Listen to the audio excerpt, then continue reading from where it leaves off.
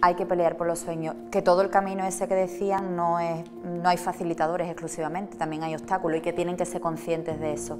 Cuando, cuando no tengas, a lo, mejor en casa, en, tu contexto familiar, no tienes la fuerza económica para poder hacer cumplir pues, un posgrado o unos máster, busca alguna forma de que alguien te apadrine mm, tu, tu, carrera extracurricular.